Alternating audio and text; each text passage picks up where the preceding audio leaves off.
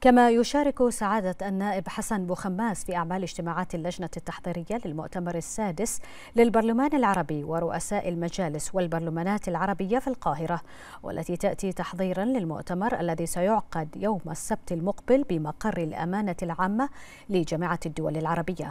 ولمزيد من التفاصيل حول هذا الموضوع معنا عبر الهاتف من القاهرة سعادة السيد حسن بوخماس عضو مجلس النواب أهلا بك سيد حسن وهل تحدثنا عن مشاركتكم في اجتماعات اللجنة التحضيرية للمؤتمر السادس للبرلمان العربي وما هي أبرز النقاط التي تم التركيز عليها؟ اليوم حضرنا المؤتمر السادس للبرلمان العربي ورؤساء المجالس والبرلمانات العربية تحت شعار رؤية برلمانية لتحقيق التوظيف الآمن للذكاء الاصطناعي. إحنا كمجلس النواب البحريني طبعا تقدمنا بورقة وثيقة اللي هي مسودة. المرئيات والملاحظات على وثيقة المؤتمر السادس للبرلمان العربي.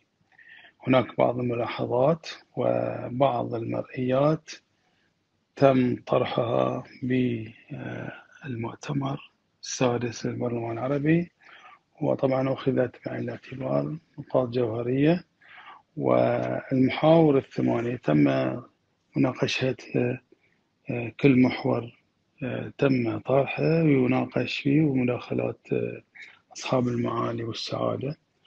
وإحنا ركزنا أيضا على محور أيضا اللي هو إيجابيات وسلبيات الذكاء الاصطناعي.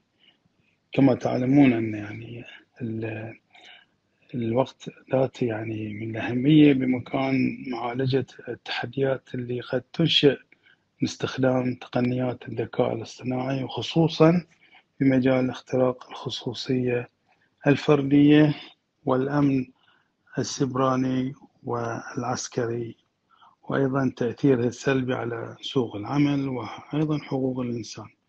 وفي هذا السياق لابد أن يراعى خلق توازن بين قوانين والإجراءات التنظيمية للحد طبعا أيضا من السلبيات وبين محفزات الاستثمار والتنمية والبحث العلمي وصولا إلى مجتمعات تعتمد على الاستخدام الآمن للذكاء الاصطناعي لتحقيق تنمية وطنية شاملة. نعم. من القاهرة سعادة السيد حسن بوخماس عضو مجلس النواب شكرا جزيلا لك.